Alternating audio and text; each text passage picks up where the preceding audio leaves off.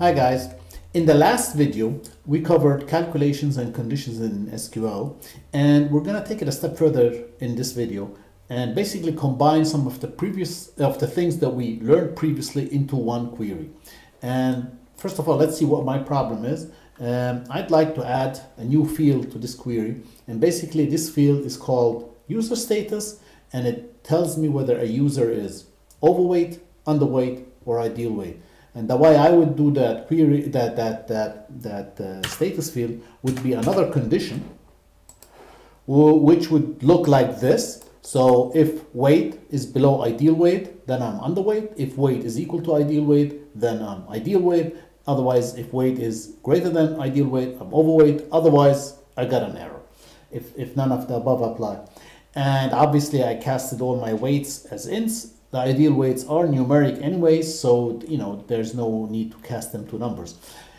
Right, and I added a comma here, and now if I run that, uh, the problem is that the query does not know or recognize ideal weight because the problem here is that ideal weight is generated in this query and yet in this same query we're trying to use that field to, uh, for a further condition or calculation.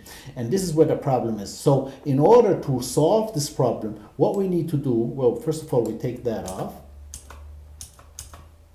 What we need to do is enclose or uh, enclose that query into, or, or put it this way, we have to um, enclose that query into an outer query. So this is basically uh, an inner query, which we use, and then there's going to be another query outside of that which is going to have the uh, the whole data that we need. So basically the way you go about it is like this.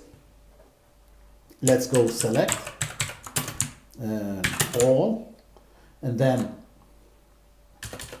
from and then here what I do is I add a paren and down here I close a paren.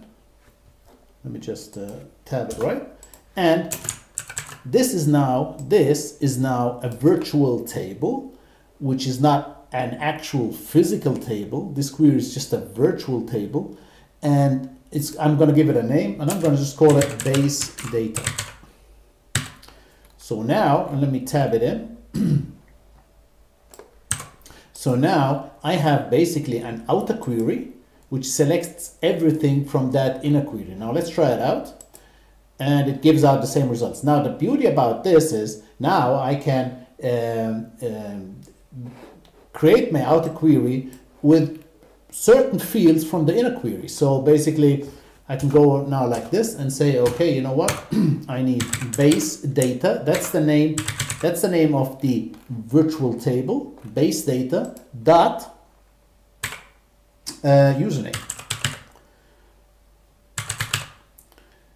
Then base data dot weight. Then base data dot ideal weight. And then now I can add my case previously and let's add it. Let's add it. So this is not the case and, and, and, note that I now added base data dot to the fields because that is for SQL to know that's the source of those fields.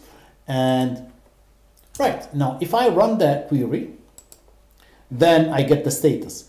And that's the thing that you have to remember that when you do, when you create new fields based on conditions or uh, calculations, you cannot use these new fields in the same query.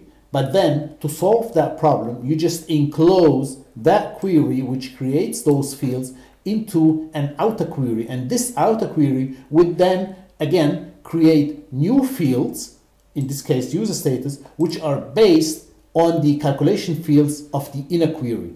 And so we're using here two things we learned. First, um, calculations and conditions of the previous video and the second thing we're using are subqueries. And that that's the way you create then queries which are able to produce something like that